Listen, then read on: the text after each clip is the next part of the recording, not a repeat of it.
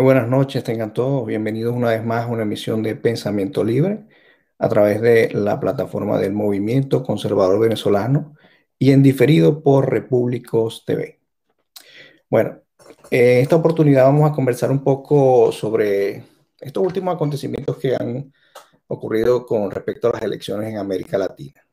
Recientemente tuvimos el caso de, de Ecuador, donde nuestro compañero Jesús hizo una una, pequeña intervención con, con, un invitado donde hablaron del caso de Ecuador.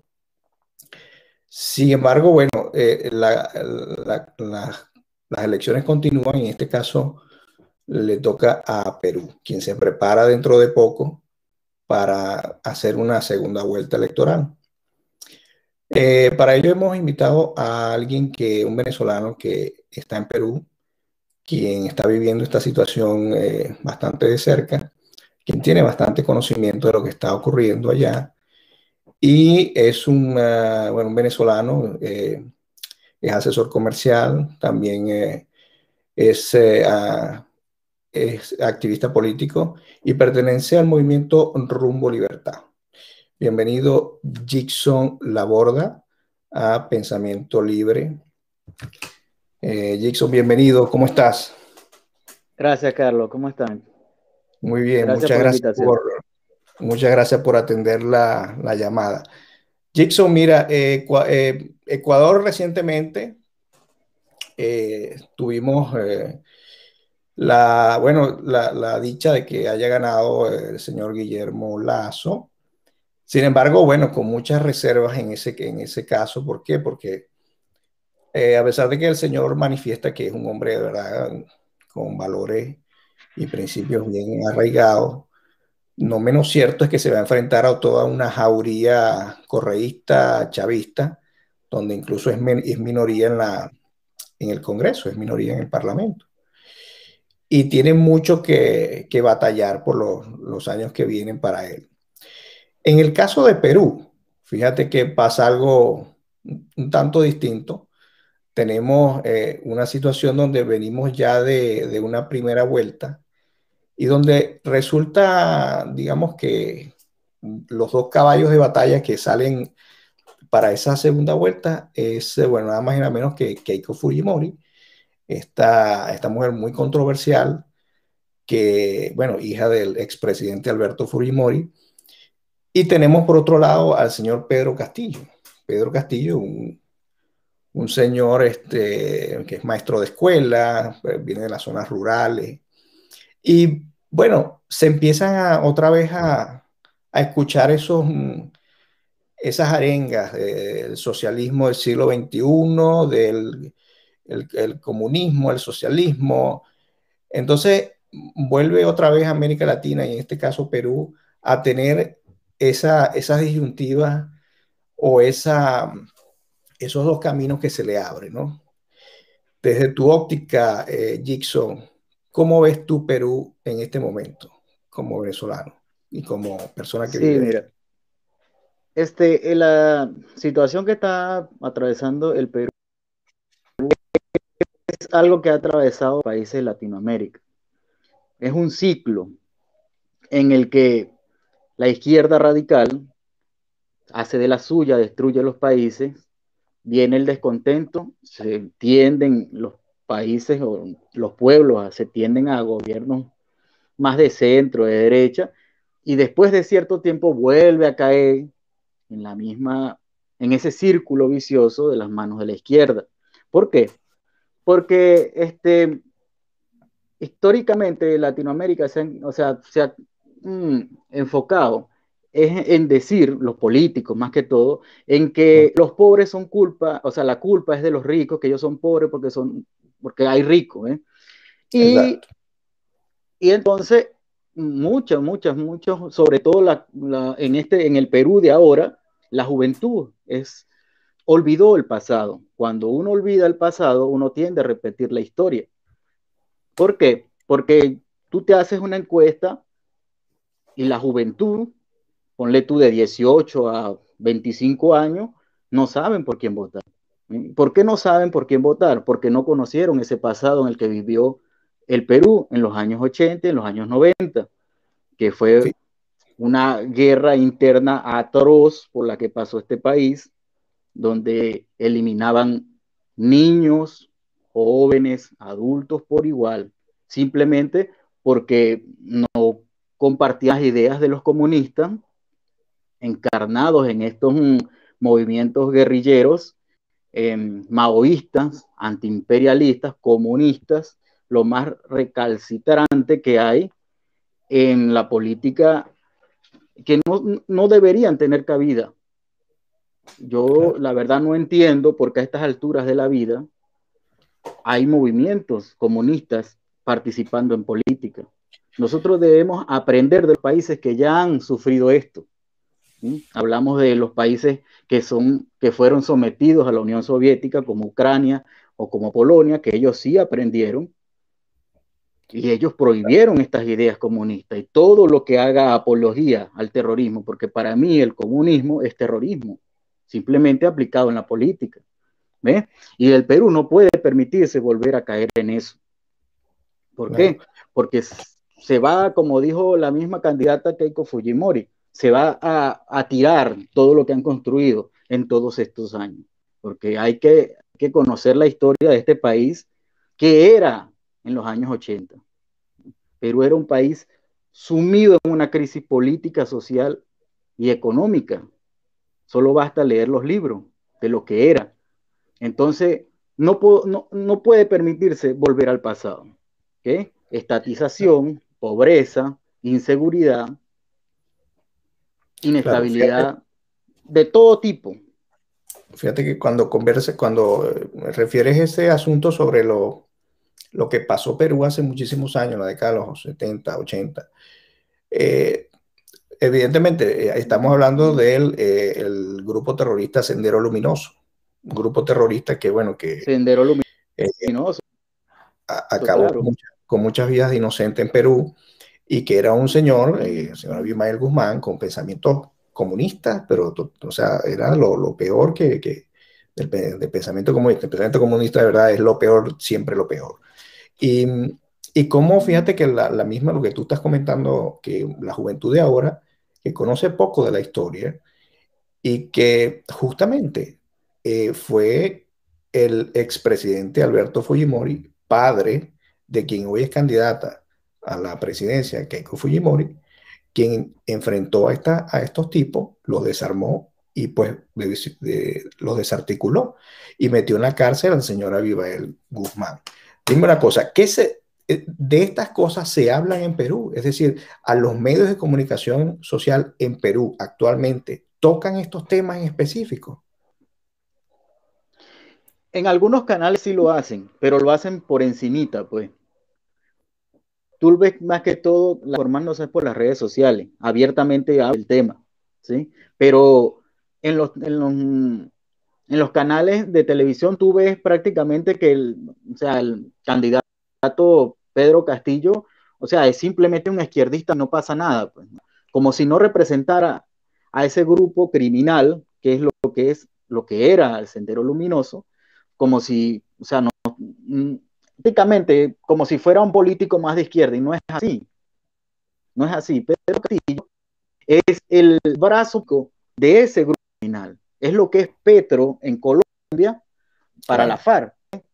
Es simplemente eso, el brazo político en Perú de ese grupo criminal. ¿Y quiénes van a gobernar con él? Ellos, así de simple, ellos.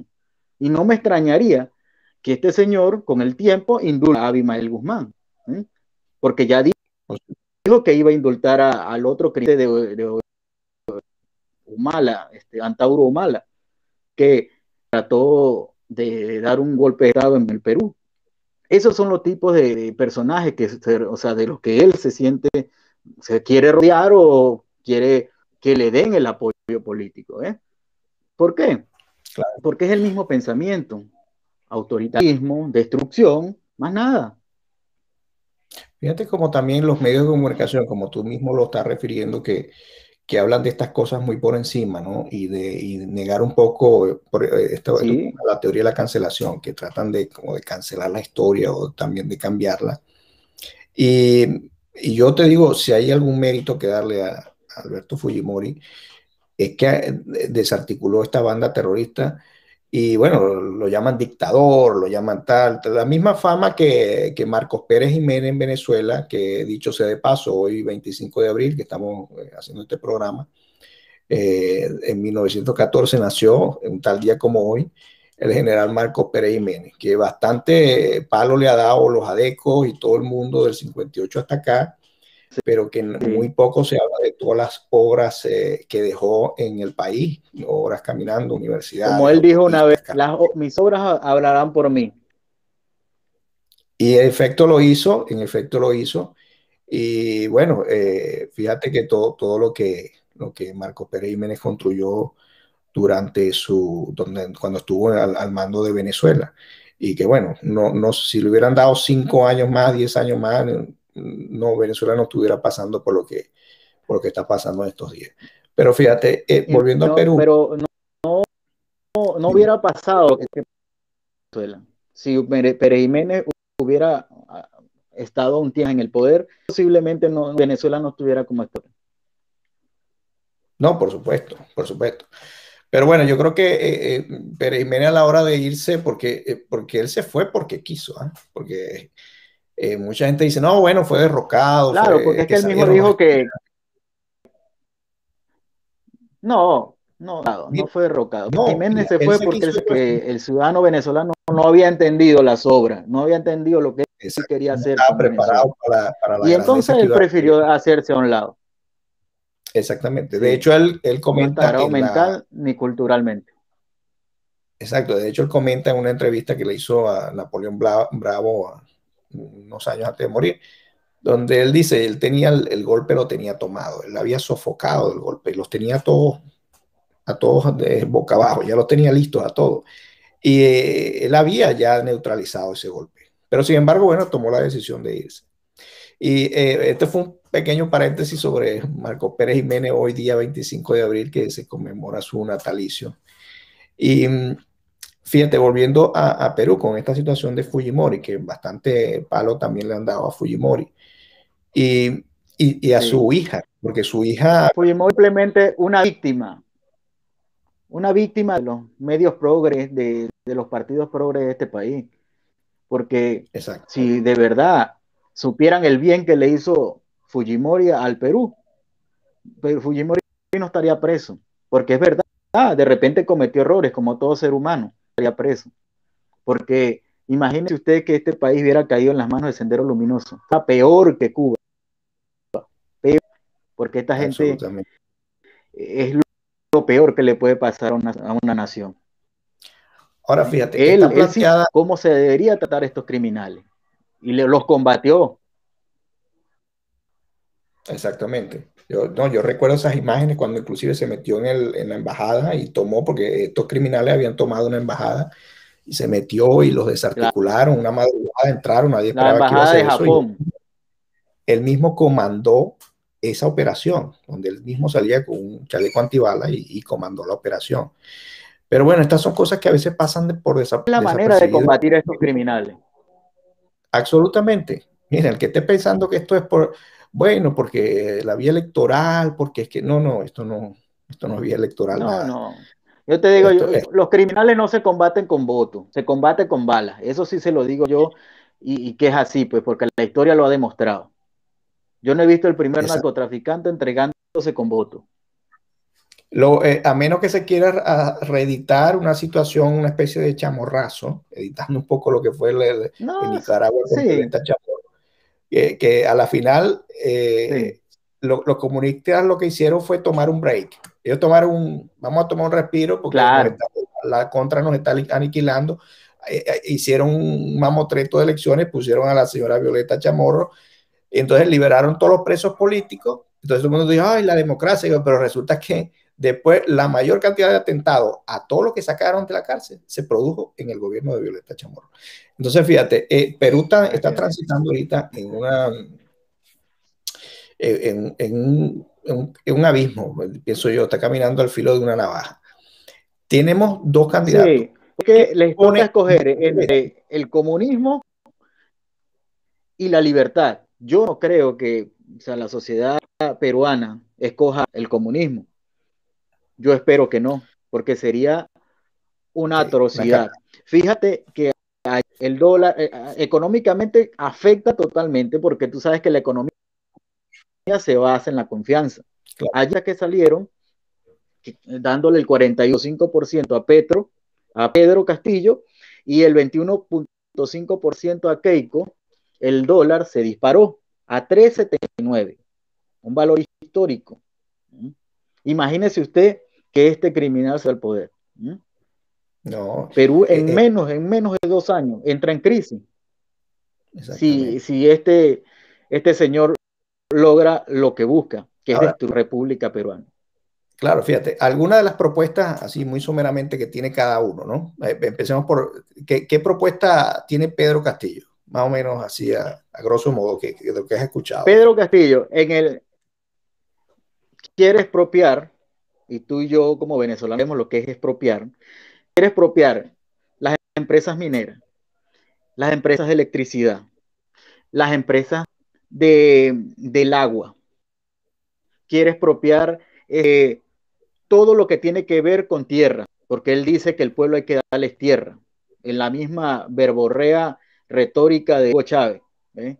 Él quiere expropiar toda la empresa de los medios de comunicación, porque él dice que eh, su proyecto no cree en la libertad de expresión, sino en, una, en, una, en un perismo de, que dé cultura y educación, pero al servicio del Estado. ¿sí? Una especie de venezolana de televisión a la peruana. Entonces, es más de lo mismo. Es una copia exacta del chavismo. Eso es todo. El que no lo ha vivido, de repente lo duda. Pero tú y yo, claro. que lo hemos vivido, sabemos cuál es el resultado de eso. Bueno, y si tú le sumas a eso una de las propuestas que tiene, que es la de hacer una constituyente para cambiar la constitución, yo dije, no, ya está la misma receta. Claro. ¿Para dónde vamos a, ¿Para dónde vamos a claro.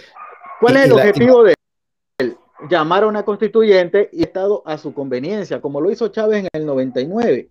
¿sí? Colocó su gente para contar los votos en el, en el instituto, o sea, en el CNE, que aquí es la OMPE, o sea, para bueno, que eh, su mente cuente los votos en las elecciones, para... Sí. Es el, sí, es el mismo sí. guion. ¿eh? A la final son esos. Por eso es que dicen que, que, la revolución es una sola. Claro. Eh, eh, o sea, siempre es el mismo guion. ¿ves? Y lo lamentable, lo lamentable de esto es que haya gente, haya gente que esté apoyando esto. ¿Mm? O sea, creyendo que es que los venezolanos que están en el Perú, que son más de un millón de personas, están aquí de turismo. Y no es así. Andan huyendo de una crisis económica que hay en Venezuela. ¿Cómo, cómo, provocada es? por este tipo de por este tipo de políticas, lo que todo lo que propone Pedro Castillo ya se hizo en Venezuela y ya vemos cuáles son los resultados. Por supuesto. Mira, ¿cómo es la eh, cómo es cómo está la situación en, en Perú sobre los venezolanos? me dicen que, bueno, que hay muchísimos venezolanos que a raíz también de esto de la, la, la situación de la, de la, peste, de la pandemia, no tienen trabajo, eh, están en una situación terrible. ¿Qué, qué has podido ver de eso? que Mira, este, ha afectado bastante, uh, incluso a mí, yo trabajaba en una empresa de distribución de ferretería y bueno, esa, ahorita estoy trabajando en otra, pero esa específicamente donde estaba trabajando quebró o sea, cerró por la pandemia, porque obviamente pues nada, o sea, fueron cuatro meses encerrados sin producir nada, pues entonces nadie va a aguantar eso. Simplemente pues cerró las puertas. Eh, así como me pasó a mí, a muchos les ha pasado. Gracias a Dios que el Perú, el, en la economía peruana, el 70% es informal, pues. Y bueno, ellos, hay Sobrevive. trabajo en los mercados, sobrevive. Hay, hay trabajos, no sé, eh, claro, sobreviven, tú lo has dicho, sobreviven. Pero comida, el trabajo formal está bastante escaso. Sí, claro. sí. El trabajo formal está bastante escaso por, por, la misma situación de la pandemia. Mira, y eh, entre los dos candidatos, estos que estamos conversando, ¿qué percepción tienen ellos sobre los venezolanos? No sé si, se, porque muchos de ellos se, se, se cuidan, tratan de, de, no hablar mucho de, porque el tema venezolano en todos estos países es causal de que gane o pierda un gobierno, porque definitivamente ah, eh, eh, los venezolanos los tomaron los políticos latinoamericanos como temita electoral. Entonces, entre más palos le dan a los, a los, venezolanos, entonces más votos agarra ese, ese candidato. Más o menos, ¿cómo perciben estos candidatos la situación de, de los venezolanos en Perú? Dixon. Bueno, mira, por ejemplo, en el caso de Ero Castillo, eh, para él, él cree que nosotros estamos locos, pues, que nosotros nos vinimos al Perú, bueno, porque quisimos, pues. Así, porque así lo vi yo, pues lo vi de Vladimir Cerrón, que es el mano derecha de este señor, y lo dijo, pues que, no que en Venezuela no había crisis, que nosotros estábamos aquí porque queríamos, porque allá estaba todo bien, que si él pudiera se fuera a vivir para allá, así lo dijo en una entrevista. Que se vaya en el burro ese que, lo llevó a votar en estos días, a ver si, si, le, si, le, va bien. ¿Cuál es el, yo te digo, y no me extrañaría, no me extrañaría, señor, llega a lograr lo que pretende, nos expulsa a todos los venezolanos, porque todo lo que le vuela a oposición, porque todo el que, todo, todo lo que él perciba que no la apoya a Maduro es su enemigo, porque sí actúan los comunistas me imagino que el lado, de Keiko es, totalmente diferente, Jackson. No, el caso de Keiko, ella, ella, ella sabe, ella está consciente de la crisis y sabe por qué están los venezolanos en el Perú. ¿eh? Ella apoya a los venezolanos y, dice que, bueno, que ella está al servicio de, de, todos los que habitan en el Perú, incluyendo los venezolanos, cualquier otro extranjero que viva en, el territorio, ¿eh? como, lo debe, ¿eh? como debe ser un gobierno o sea, normal, democrático. Pues. Claro. Aquí tenemos unos comentarios. Bueno, Jesús Enrique Hernández, saludos Jesús. Saludos, Fujimori fue el padre del progreso económico de, de, Perú y sobre todo le llevó tranquilidad y paz a la sociedad con el uso legítimo de la fuerza pública contra el terrorismo comunista. Juan José Austillo, saludos Juan. Dice, buenas tardes, en sintonía. La historia de Perú, de Perú con Fujimori es parecida a la, gran leyenda negra sobre Marcos Pérez Jiménez aquí en Venezuela. Hay mucho rencor y poca reflexión. Hoy en día podrían, pondrían el luminoso en el Congreso, como pasó en Colombia. Elisaúl Socorro, saludos de Panamá, saludos Elisaúl. Este, sí, mira, eh, definitivamente eh, eh, apunta que mm, Perú tiene en sus manos ahorita la posibilidad de ser libre o, de, de, encarcelarse por vida, ponerse un grillete y lanzarse por un abismo. Ellos, eh, eh, ¿cómo ves? El, ya me diste ahorita referencia a unas, encuestas que, que tienes tú por allí, pero tú que estás en la calle, o digamos, ¿qué percepción te da el, peruano de a pie? Que tú estás en la capital. La capital a veces piensa muy diferente a lo que, a lo que piensan las zonas rurales de, del Perú. ¿Qué percibes tú en el peruano de a pie? ¿Qué, se comenta en la calle? A veces uno escucha lo que, lo que se comenta en la calle. ¿Qué, te dice esa percepción eh, ciudadana? Pues eso mismo, que hay incertidumbre en la población, porque, o sea, no hay que hacer, ¿sí?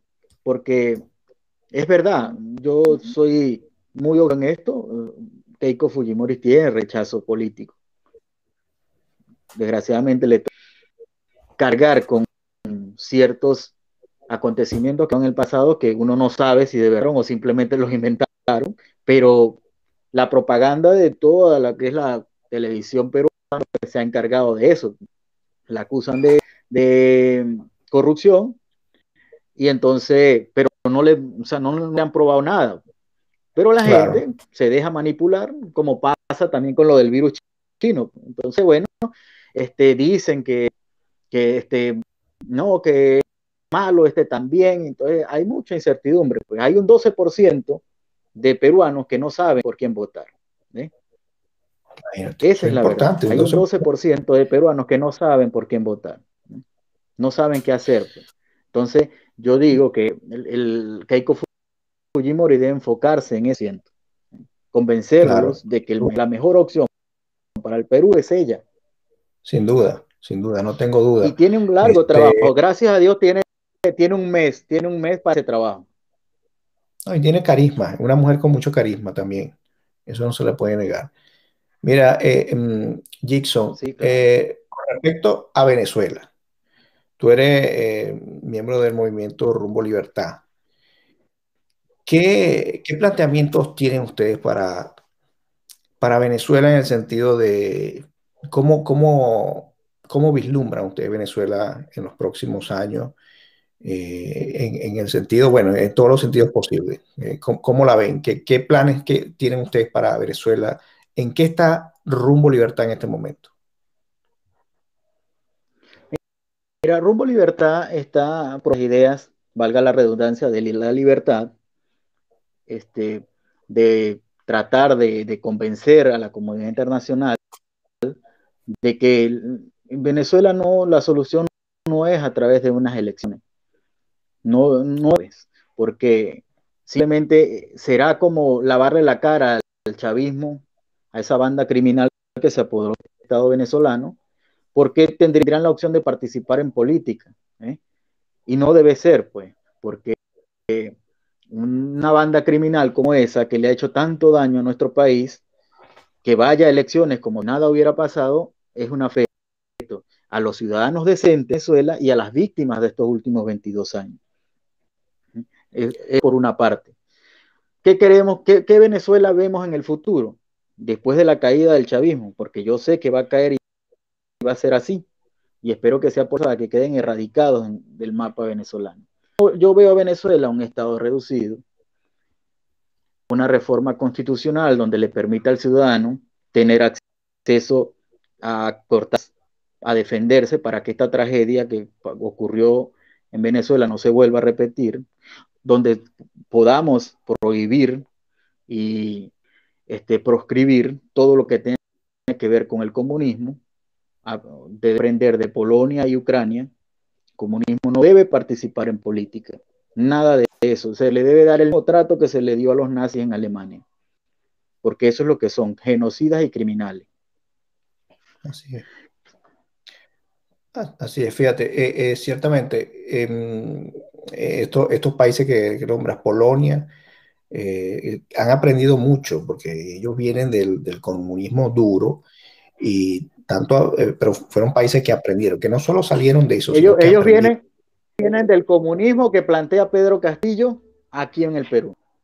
Sí, que es el comunismo clásico, que, porque incluso, fíjate que incluso hasta este señor Pedro Castillo, fíjate que él todavía no ha avanzado en el plano progre, él todavía está estancado en el plano eh, comunista, clásico, mar, eh, de mar, porque incluso los progres se lavan la cara ya con el libre mercado, ya los progres que son de izquierda, pero asumieron que el libre mercado, que si no hablamos libre mercado estamos fritos.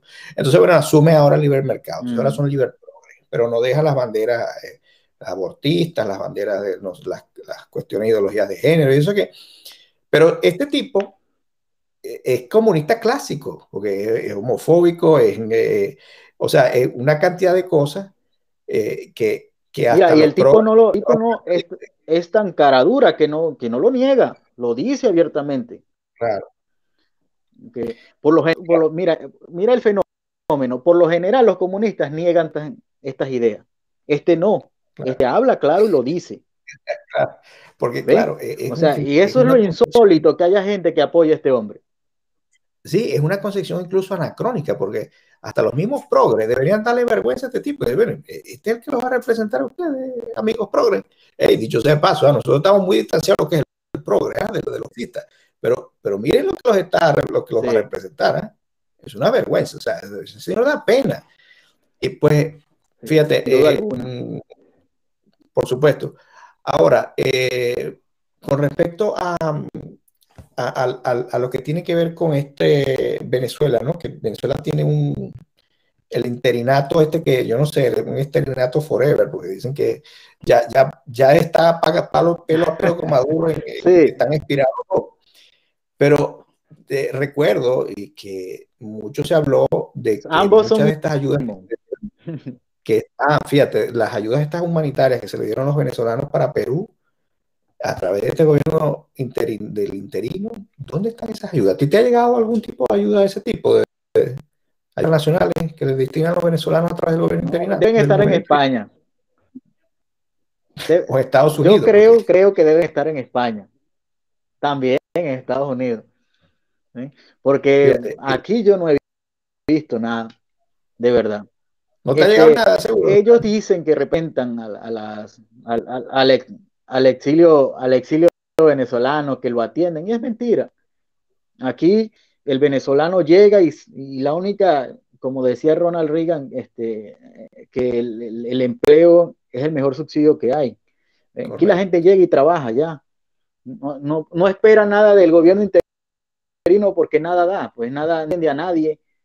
Entonces prácticamente un gobierno ficticio, porque si no hace nada, no existe. Por, Así es simple sencillo. Vi una noticia que parece que van a descongelarle un de millones que tiene Estados Unidos, se los van a descongelar y se los van a dar otra vez. 152 millones. Cuidando que eso. ¿ah? Anillo Son cosas absurdas, pues. Sí, tenemos saludos de Anillo León, dice buenas noches, el problema es prohibir, de prohibir estas organizaciones como comunistas que volverán con otros nombres. Sin duda que esta gente se mimetiza, los comunistas se empiezan a mimetizar en la cara, se ponen amables, se echan perfume, se ponen pero, un iPad, pero son los comunistas. Claro, y estoy de acuerdo con, con, con el comentario, sí, estoy de acuerdo, ellos se, se, se camuflan. Pero esto les daría a ellos una sanción moral y una sanción política. ¿eh? Porque debe ser, pues, participar en política como no ha pasado nada en Venezuela. ¿eh? Ellos pueden disfrazarse lo que quieran. La gente igual los conoce, pero sus, símbolos originarios deben ser prohibidos. Simplemente por respeto a las víctimas y a los decentes de nuestro país. Bueno, perfecto, fíjate. Eh, qué bueno haber tenido esta conversación, ya más o menos nos da un panorama de, cómo está Perú en este momento. Eh, ¿Quieres agregar algo? Sí, quiero aprovechar la oportunidad para, para invitar a, los amigos peruanos que de repente nos están viendo y solo, le me queda decirles que no en la trampa, no, traigan, no caigan en el común porque es muy fácil caer en el comunismo, lo difícil es salir de él. Así que a votar con la razón y no con la, las vísceras, y no con el estómago. Exactamente. Ese es el mensaje que nosotros desde aquí les damos a los amigos peruanos, que se vean en el espejo de Venezuela. Porque los venezolanos decían, eh, Venezuela no es Cuba, los cubanos nos decían lo que iba a pasar, Venezuela no es Cuba y mire dónde estamos. Entonces, eh, yo creo que, que, tomen conciencia a los peruanos en estas elecciones que van a venir, que por cierto son en junio, creo, el 6 de junio, tengo entendido, no sé. El 6 de junio. Correcto. Entonces, bueno, tienen bastante tiempo para pensarlo y, piénsenlo bien. Eh, bueno, Jackson, de verdad que yo te doy las gracias por haber eh, tenido esta pequeña participación donde ya nos, nos has puesto ya un poco más sobre cómo está la situación allá.